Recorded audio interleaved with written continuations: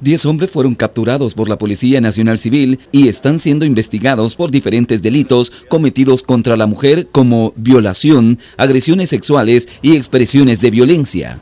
Bueno, yo creo que también es un llamado a, toda la ciudadanía para que no caiga ningún tipo de delito y especialmente en este caso pues las mujeres que sean víctimas de cualquier delito lo importante es denunciar, que tengan la seguridad que la Policía Nacional Civil va a desarrollar este, una investigación y, y, poder hacer justicia eh, en contra de las personas que cometen delitos en contra de, lo que es las mujeres. Además, entre las capturas se encuentra una mujer por contrabando de mercadería.